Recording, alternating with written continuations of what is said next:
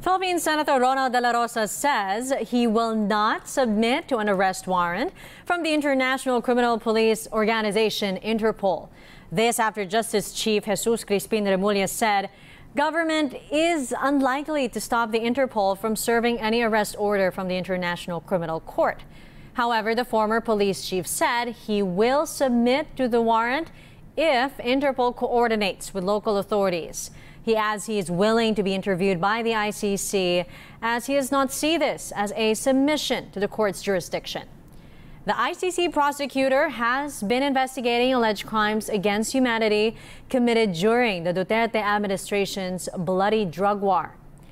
Earlier this week, former Senator Antonio Trillanes claimed the ICC prosecutor's office requested Interpol to place Dela Rosa and four other former police officials under its blue notice.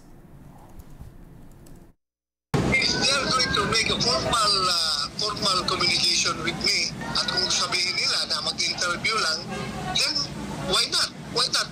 Uh, as a normal being, as a normal uh, human being, hindi naman ako bastos. Kung merong magkatanong, sasagutin ko rin yung tanong.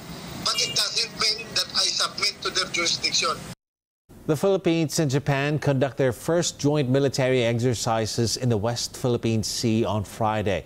The bilateral maritime cooperative activity was carried out within the Philippines' exclusive economic zone. The Navy's missile frigate BRP Jose Rizal and the Japanese destroyer JS Sazanami took part in activities that include a communications exercise and tactical maneuvering. The maritime drills are part of efforts to boost regional cooperation for a free and open Indo-Pacific. Various groups and organizations have filed a petition before the Philippine Supreme Court to block the transfer of nearly 90 billion pesos from the state health insurer PhilHealth to the National Treasury. The petitioners argue inserting a provision on unprogrammed funds to the 2024 General Appropriations Act is unconstitutional. They also claim the inserted provision violates people's right to health by denying them access to affordable health care.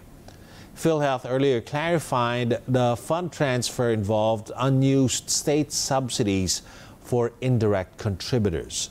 It also assured its members the state insurer remains financially stable. The Philippines seeks the release of Filipino seafarers held hostage by the Houthi group in the Red Sea. The palace said Friday some of the 17 Filipinos aboard the MV Galaxy Leader are showing symptoms of malaria. The honorary consul to Yemen is said to have asked the Sana'a government, which controls the Houthi, to release the crewmen on humanitarian grounds. Manila's Foreign Office says the Sana'a government has sent medical aid and doctors to the hostages.